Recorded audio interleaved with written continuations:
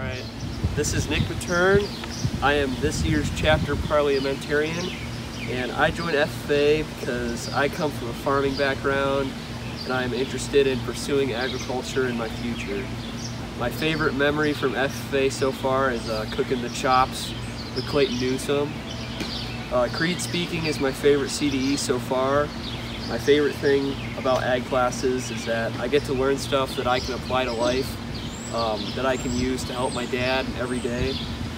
And this year I'm looking forward to taking ag tech and expanding my knowledge.